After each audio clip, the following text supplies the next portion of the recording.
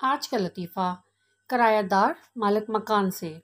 जनाब, आपकी इमारत में ऊपर वाली मंजिल पर जो औरत रहती है, वो हर वक्त अपने शोर से लड़ती रहती है, जिससे पड़ोसियों को बहुत परेशानी का सामना करना पड़ता है। आप मालिक मकान होने की हैसियत से उसे समझाएँ। मालिक मकान ने गौर से उसकी बात सुनते हुए कहा, क्या आप इस औरत के पड़ोसी हैं? किराएदार ने जवाब दिया, जी नहीं, मैं इस औरत का शोहर हूँ।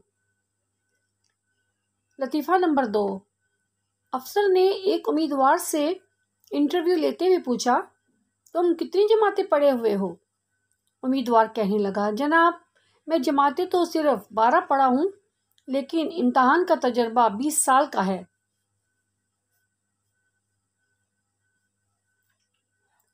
लतीफ़ा नंबर तीन।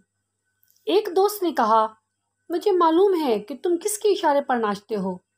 दूसरा घबराकर गुस्से से बोला, खबरदार, सियासी बहस के दौरान मेरी बीवी का ज़िक्र किया तो अच्छी बात ना होगी।